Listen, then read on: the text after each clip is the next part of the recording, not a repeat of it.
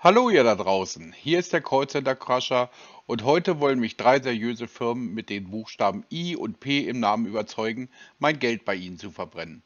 Ob's klappt, seht ihr in den folgenden Minuten. Viel Spaß dabei, nach dem Intro geht's los.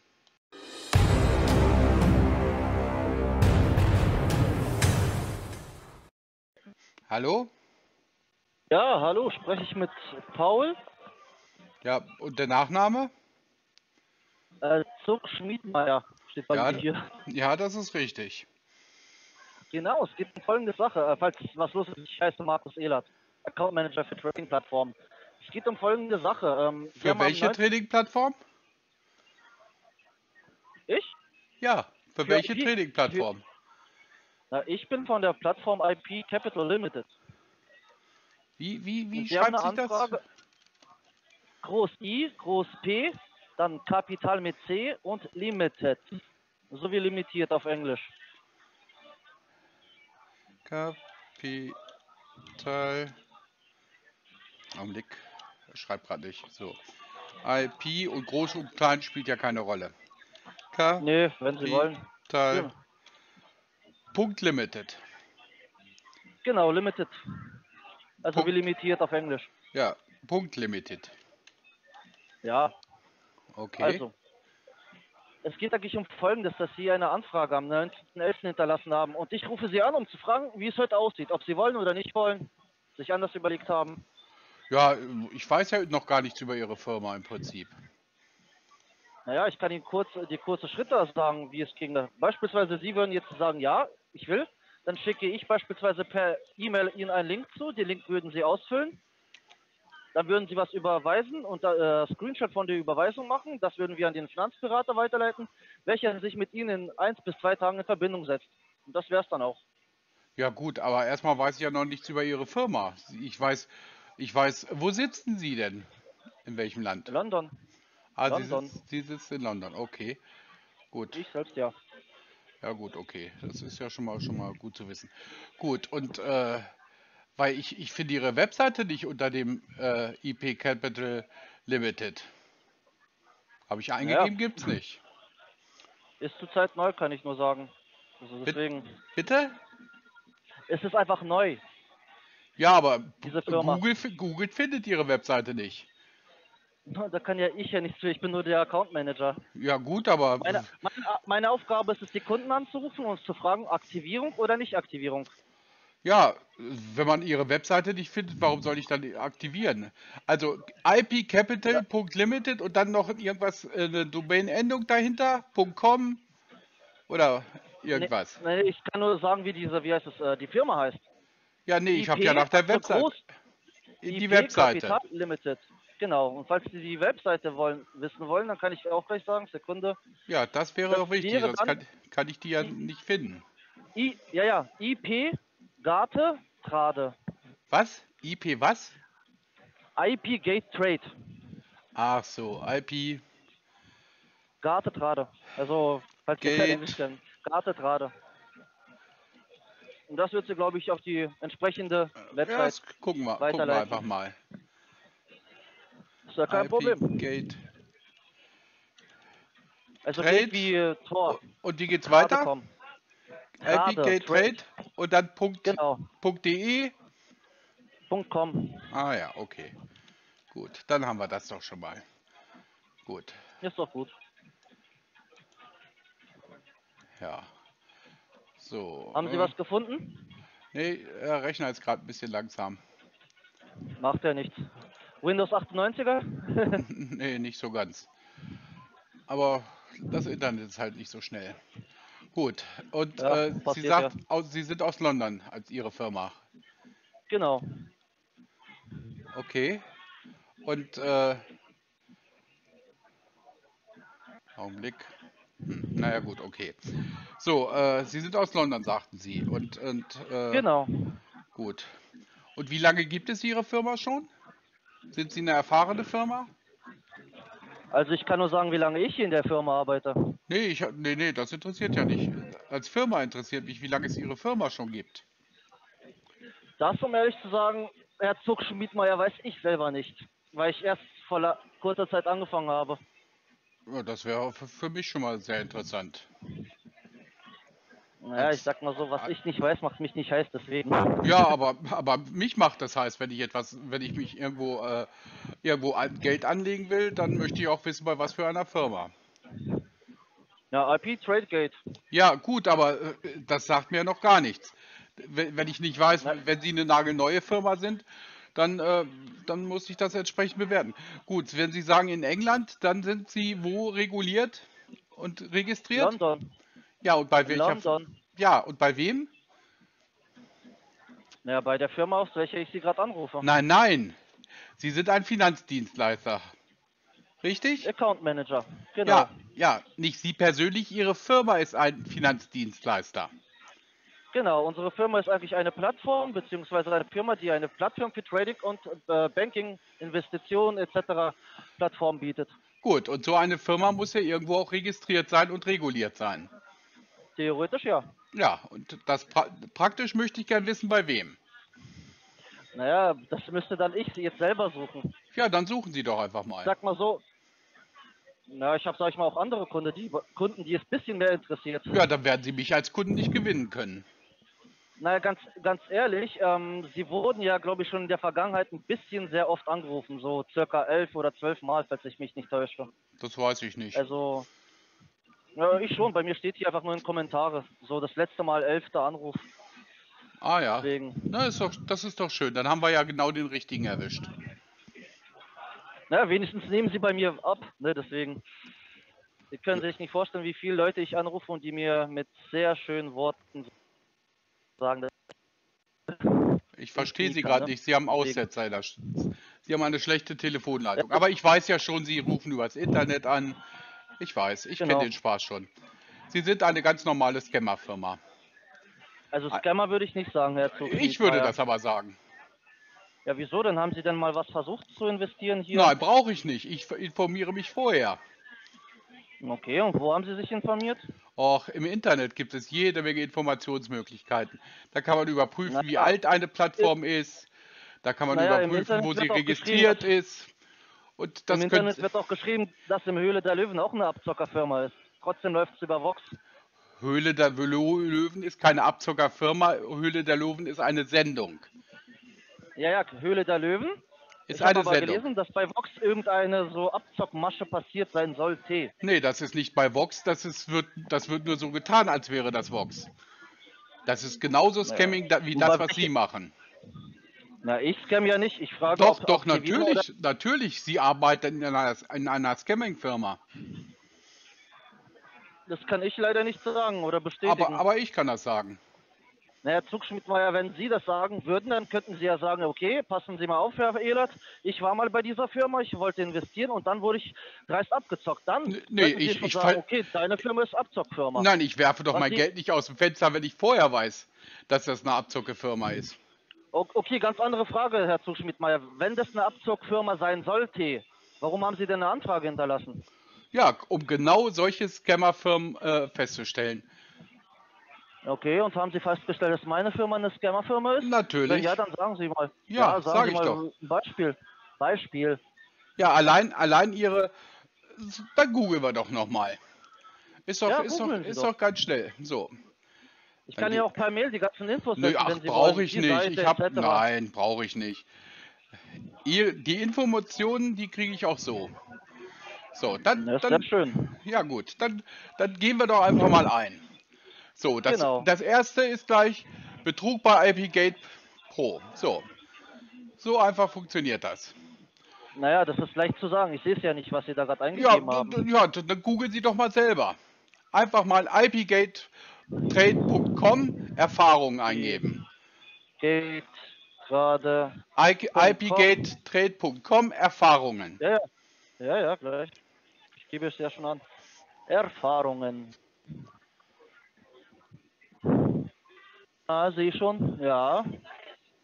Rückblick, betrogen worden, Geld zurück. What is ipgatetrade.com? Ja, sehe ich schon. Ja, genau. Schauen Sie mal, nur bei anwalt.de zum Beispiel. Ja, ja, ich habe es ja gerade offen. Oder Broker zahlt nicht. Jede Menge. Und das sind alles bestätigte Geschichten. Sie sind eine Abzockerfirma. Okay, finden Sie, das wäre Abzockerfirma auch nur, wenn es beispielsweise jemand versucht hat zu traden, aber nur einfach nur, wie heißt das?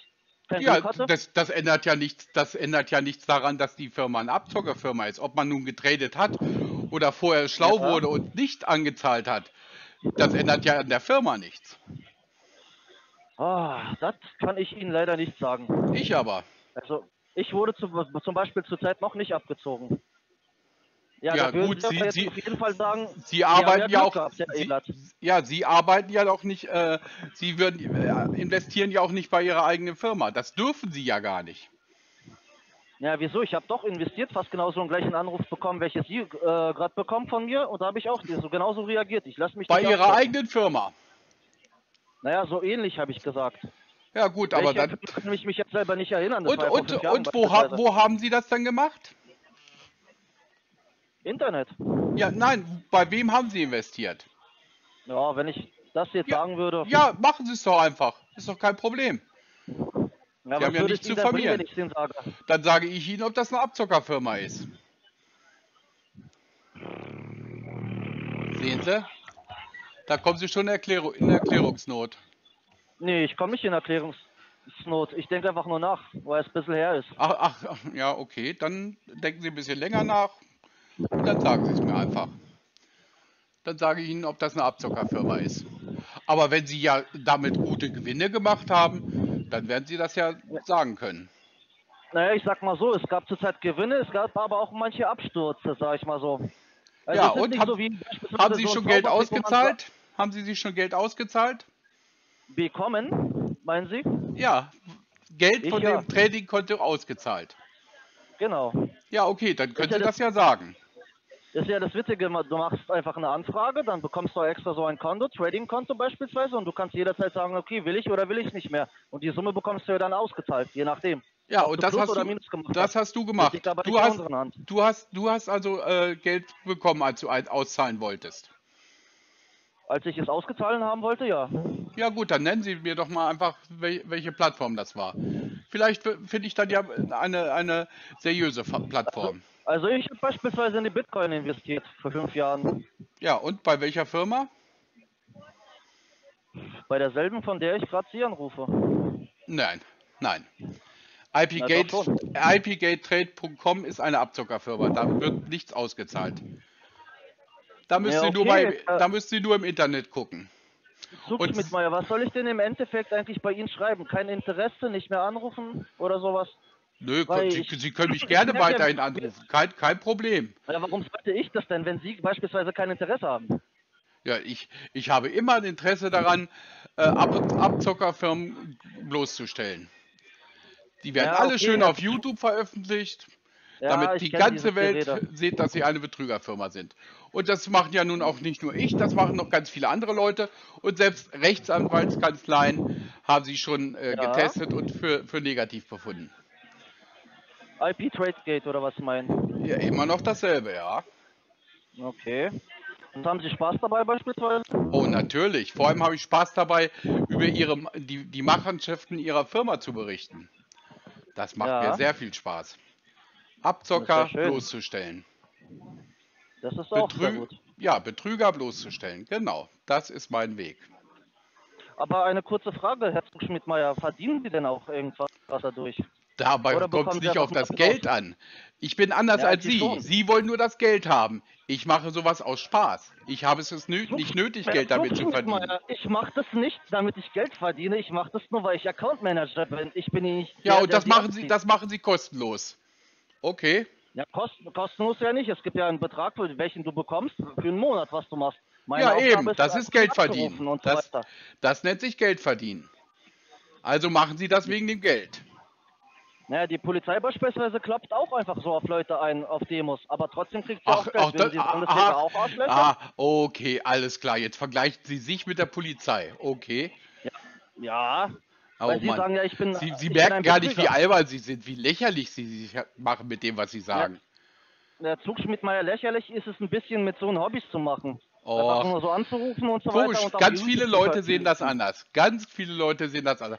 Gut, die ganzen Leute in den Callcentern, die betrügen, die Ja. sehen das natürlich wirklich anders. Die sagen, wir machen, äh, wir machen äh, Scheiß. Aber ganz viele Leute sehen es anders. Okay. Ja. Alles, was seriös ist, äh, findet das gut, was wir machen. Naja, aber wenn Sie es über YouTube machen, kann ich ja nicht sagen, dass Sie damit Geld verdienen. Ich glaube, erst ab einer Abonnentenzahl über, lassen Sie mich nicht täuschen, über 2000 kann man erst wie ist das? Monetarisierung an- machen. Ja, und aber das interessiert mich ja gar nicht. Ich mache es ohne. Ja, Ich mache das aus Spaß. Ich, ich sagte doch, ich mache das nicht, um Geld zu verdienen. Ich habe genug Geld. Also ganz ehrlich, dann, wenn ich beispielsweise sowas machen würde, dann würde ich lieber äh, Monetarisierung. Ja, und jetzt höre ich sie schon wieder nicht. Hallo. Ich höre sie gar nicht mehr. Hallo. Na, hat man Ihnen den Saft abgedreht? Ja, hat, hat man.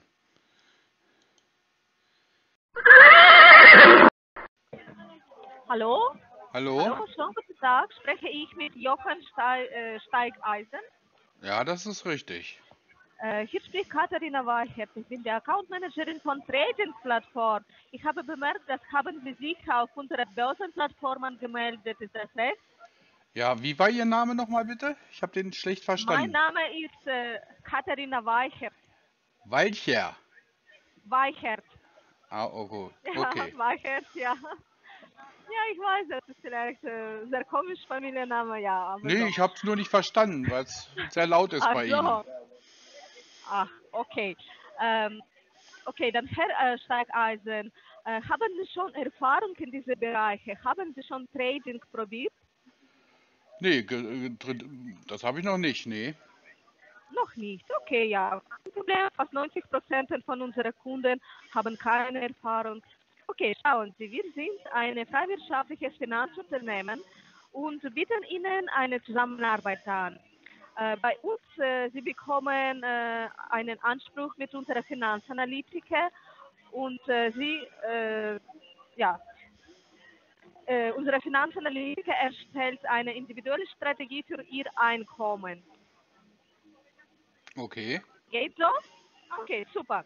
Dann äh, noch habe ich ein paar Fragen. Äh, was machen Sie jetzt beruflich? Ja, ich wüsste nicht, dass, was, was Sie das jetzt angeht. Ich weiß ja auch nicht, was, was Äh. Sie so machen. Ich weiß über Ihre Äh. Firma noch gar nichts und Sie fragen nach meinem Beruf. Äh, ja, das funktioniert so. Äh, ich bin Account Managerin. Ich helfe Ihnen, einen Account bei unserer Trading-Plattform zu aktivieren. Aber Sie können nicht bei uns eine äh, Handelskonto geöffnet werden, haben Sie Verdienst weniger als 1000 Euro. Dann andere Frage, verdienen Sie mehr als 1000 Euro pro Monat oder weniger? Natürlich mehr. Mehr, okay, super. Ja, dann äh, geht so. Und haben Sie Kredite? Das geht Sie ja nun auch nichts an. Das geht Sie Okay, nichts ja. an. Das ist privat und das bleibt privat. Ja, ich weiß. Okay, Gut. dann andere Frage. Wenn haben Sie einen Kredit, dann nachdem Ihrer Kreditanzahlung äh, haben Sie mehr als 1000 Euro oder weniger? Wie gesagt, was mit Krediten Mehr, ist, das geht okay. Sie nichts an. Ja, Aber wenn machen wir es doch mal umgekehrt. Erzählen Sie doch erstmal, stellen Sie mal nicht so viele Fragen, sondern erzählen Sie doch mal was über Ihre Firma. Wenn möchten Sie ein Handelskonto bei uns eröffnen, dann das ist äh, wichtig für uns Informationen, weil Sie äh, noch äh, Verifikation gehen müssen, ja? Ja, Weil, aber, habe ich, ich weil weiß ja noch ich gar nicht-. Mhm. aber ich weiß doch noch gar nicht, ob ich bei Ihnen investieren möchte. Ich möchte ja erstmal wissen, wie, was Ihre Firma ist, was sie leistet. Unsere Firma, äh, ja, das ist eine Trading-Plattform. Das Ja, und- ist Online-Investitionen. Ja, und wie heißt diese Trading-Plattform? Unsere, unsere Firma heißt IP Capital Investment. Wie bitte nochmal? Kleinen Moment bitte. unsere Firma heißt IP Capital Limited. IP, wie, wie schreibt sich das? Da Capital kann ich Limited. IP Capi- Capital Limited. Ka deutsches Kapital oder Englisch Capital geschrieben? Limited. Ja? Herr, vielleicht lassen Sie mich einfach mal ausreden. Englisch geschrieben das Capital oder das deutsche Kapital? Ja, das ist der Name auf äh, äh, Englischsprache. Capital äh, C, erste, erste Buchstabe ist, ist C. IP Capital und weiter? IP Capital Limited. Limited. Das ist Ihre, ist das Ihre Webseite, Ja. Ihr, Ihr Portal? Ja, könnten Sie schauen. Könnten Ja. Sie im Internet gefunden. Limited? Limited. Ted. Und ja. dann .de oder? Ja, und raus.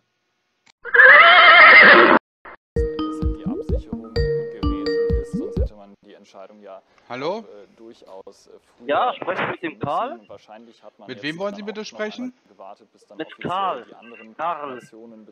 Karl? andere Länder wie Polen Ja, mit Genau. äh, den Nachnamen bitte. Äh, da steht Mehlsackklopfer. Ja, das ist richtig. Ah, spreche ich mit Ihnen? Ja, Ja. supi. Mein Name ist Markus Wieland. Ich bin Account Manager von Investmentform, Trading Kontos und so weiter. Die haben vor Was zwei und so Tagen- weiter? Wie heißt die Plattform und so weiter? Nein, ich habe gesagt, ich bin Account Manager von Trading-Plattformen für Investment, Trading und so weiter. Ah, okay. Und für welche dann? Was für welche? Für welche. Plattform? Also ich bin von IPGate und Ihre Anfrage kam über Bitcoin ab. Okay. Gut, aber ich möchte Ja. gern wissen, mit wem, mit wem ich es zu tun habe. Also äh, IP-Gate. Das ist Ihre Genau. Plattform. Genau. Äh, die oh, IP-Gate, Äh. IP-Gate. Und dann die Endung .de, Ja. ipgate.de. Na, dann versuche ich doch mal die Seite aufzurufen. Nee. Wird nicht aufgerufen. Kann aber auch kommen sein. Ach, Sie, wiss, Sie wissen Ihre eigene Webseite nicht? Nee, ich bin nur der Typ, der anruft. Das ist ja peinlich, wenn Sie Ihre eigene Webseite nicht kennen. Also das bräuchte ich schon. ipgate.trade. IP Gate Gate.trade. Punkt Trate. Na gut, dann geben wir das mal ein. So, und dann. Haben Sie es? Ja, ich, ich versuche gerade aufzumachen.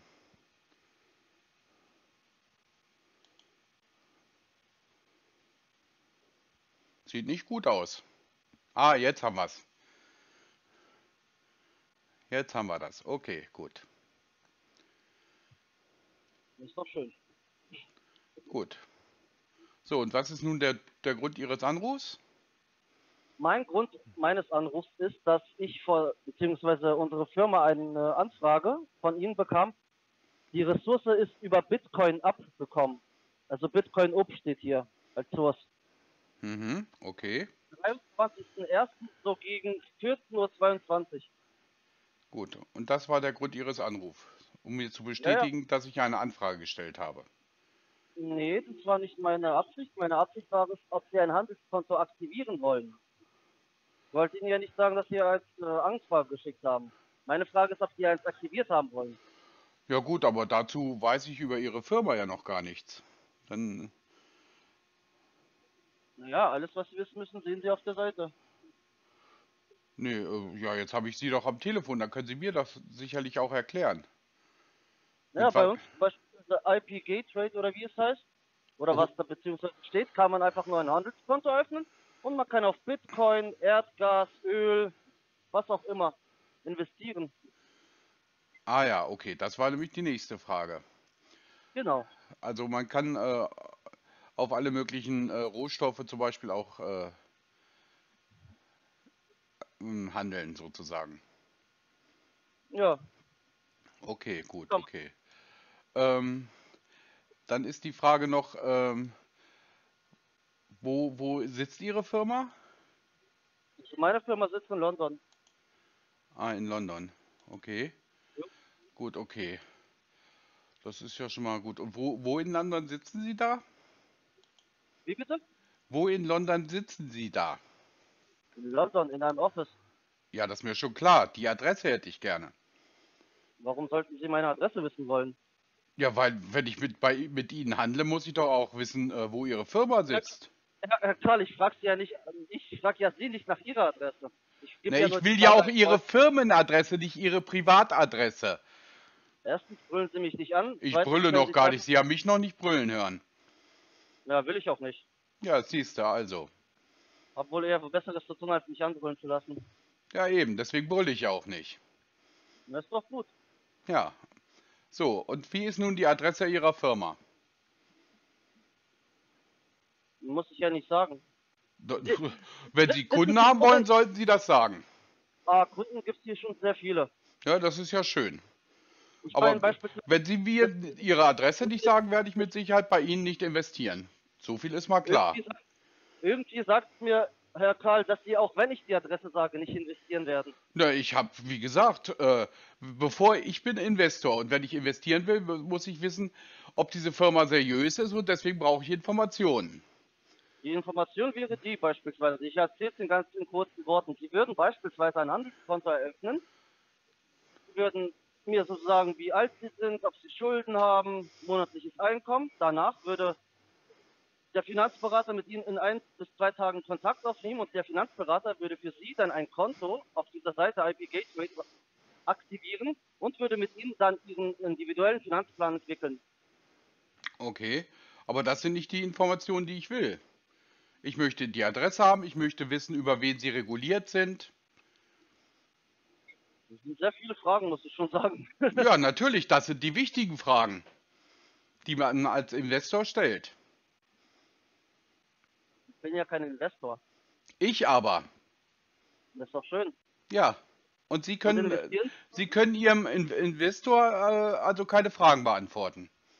Ja, solche, sage ich mal, Fragen kann ich nicht beantworten, weil ich nur der Typ am Telefon bin. Ja gut, aber Aber das, das hilft ja dann, das hilft mir ja dann nicht weiter. Dann bin, verbinden Sie mich doch mit jemandem, der mir die Fragen beantworten kann. Kann ich gerne machen. Ja, gut, Sie eine Sekunde. natürlich. Und schon ist er raus.